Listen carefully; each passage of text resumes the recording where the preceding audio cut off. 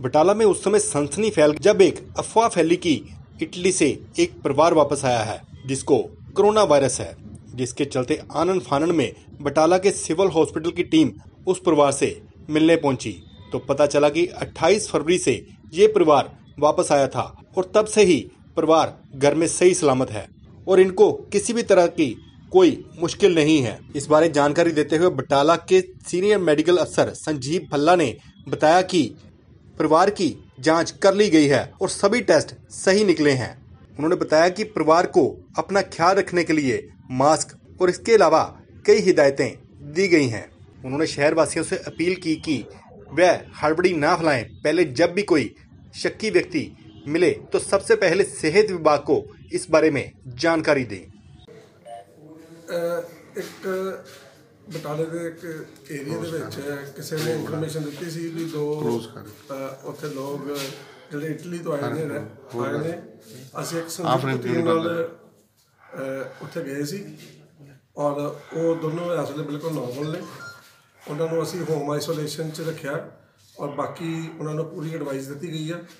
ਵੀ after sir ਉਹਨਾਂ ਨੇ ਸਾਰੀ ਗੱਲ ਸਾਡੀ ਸੁਣੀ ਆ ਸਮਝੀ ਆ। ਉਹਨਾਂ ਨੂੰ ਬੇਸਿਕ ਮਟੀਰੀਅਲ ਗਲਵਜ਼ ਮਾਸਕ ਵਗੈਰਾ ਪ੍ਰੋਵਾਈਡ ਕਰ ਦਿੱਤੇ ਗਏ ਆ ਔਰ ਉਹਨਾਂ ਨੂੰ ਹੈਂਡ ਵਾਸ਼ ਔਰ ਅਲਕੋਹਲ ਬੇਸਡ ਸੈਨੀਟਾਈਜ਼ਰ ਯੂਜ਼ ਕਰਨ ਨੂੰ ਸਮਝਾ ਦਿੱਤਾ ਗਿਆ।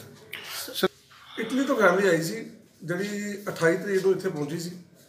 ਉਹ ਆਪਣੇ ਘਰ 'ਚ ਰਹਿ ਰਹੇ ਨੇ ਔਰ ਕਿਸੇ ਨੇ ਸਾਨੂੰ ਫਿ- ਦਿੱਤੀ ਸੀ ਇਨਫੋਰਮੇਸ਼ਨ ਔਰ ਕੁਝ ਲੋਕ ਇਹਦੇ ਪ੍ਰਤੀ ਪੈਨਿਕੀ ਕ੍ਰੀਏਟ ਕਰ ਰਹੇ ਸੀ ਔਰ ਬਾਰ-ਬਾਰ ਫੋਨ ਕਰਕੇ ਸਾਨੂੰ ਦੱਸ ਰਹੇ ਸੀ। ਇਸ ਕਰਕੇ ਮੈਂ ਆਪਣੀ ਟੀਮ ਔਰ ਆਪਣੇ ਹਾਇਰ ਅਫੀਸ਼ੀਅਲ ਨੂੰ ਇਨਫੋਰਮ ਕੀਤਾ। ਉਹਨਾਂ ਦੇ ਮਸ਼ਵਰੇ ਦੇ ਨਾਲ ਅਸੀਂ ਉਹਨਾਂ ਦੇ ਘਰ ਗਏ ਔਰ ਉਹਨਾਂ ਨਾਲ ਸਾਰੀ ਗੱਲਬਾਤ ਕੀਤੀ। ਕੀ ਹੁਣ ਲੱਗਦੇ ਹਾਲਾਤ? ਉਹ ਠੀਕ ਠਾਕ ਹੈ ਬਿਲਕੁਲ ਉਹਨਾਂ ਨੂੰ ਕੋਈ ਇਹੋ ਜਿਹਾ ਸਾਈਨ ਸਿੰਪਟਮ ਇਸ ਵੇਲੇ ਐਵੀਡੈਂਟ ਨਹੀਂ ਹੈ। ਉਹਨਾਂ ਨੂੰ ਫਾਲੋ ਅਪ ਵਿੱਚ ਅਸੀਂ ਸਮਝਾ ਦਿੱਤਾ। ਔਰ ਠੀਕ ਨੇ। ਸਰ ਜਿਹਨੇ ਇਨਫੋਰਮੇਸ਼ਨ ਦਿੱਤੀ ਉਹਨਾਂ ਨੂੰ ਕਿੰਨਾ ਸ਼ੱਕ ਪਿਆ ਕਿ ਕਰੋਨਾ ਵਾਇਰਸ ਦੇ ਮਰੀਜ਼ ਉਹ ਉਸ ਏਰੀਆ ਦੇ ਨੇ ਉਹ ਤਾਂ ਦੇਖੋ ਇਨਫੋਰਮੇਸ਼ਨ ਦਿੱਤੀ ਹੈ ਜੇ ਕਿਸੇ ਨੇ ਤੇ ਆਪਾਂ ਉਹਦੀ ਇਨਫੋਰਮੇਸ਼ਨ ਨੂੰ ਡਿਸਕਲੋਜ਼ ਕਰਨਾ ਡਿਊਟੀ ਨਹੀਂ ਹੈ।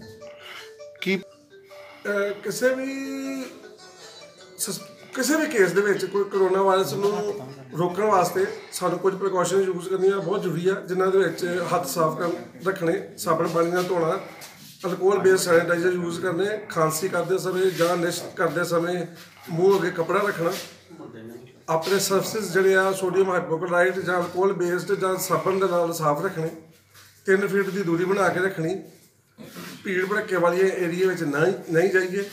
ਫालतू ਦੀ ਗੈਦਰਿੰਗਸ ਨਾ ਕਰੀਏ। ਆਪਣੇ ਘਰਾਂ ਵਿੱਚ ਵੱਧ ਤੋਂ ਵੱਧ ਸੌਂ ਜਾਈਏ। ਆ ਜਿਹੜਾ ਟਰੈਵਲਿੰਗ ਜਿਹੜੀ ਸਾਨੂੰ ਜ਼ਰੂਰਤ ਨਹੀਂ ਹੈ ਉਹਨੂੰ ਅਵੋਇਡ ਕਰੀਏ। ਥੈਂਕ ਯੂ ਚੰਗੀ ਖੁਰਾਕ ਖਾਈਏ ਕੋਸਾ ਪਾਣੀ ਦਾ ਪ੍ਰਯੋਗ ਕਰੀਏ ਗਲਾ ਆਪਣਾ ਤਰ ਰੱਖੀਏ। ਇਹ ਸਾਰੇ ਸਿੰਪਟਮ ਜਿਹੜੀਆਂ ਚੀਜ਼ਾਂ ਨੇ ਇਹ ਸਾਨੂੰ ਕਿਸੇ ਵੀ ਵਾਇਰਲ ਡਿਜ਼ੀਜ਼ ਤੇ ਖਾਸ ਕਰਕੇ ਕਰੋਨਾ ਵਾਇਰਸ ਨੂੰ ਬਚਾਉਣ ਵਿੱਚ ਬਹੁਤ ਸਹਾਇਕ ਹੈ ਥੈਂਕ ਯੂ ਸਰ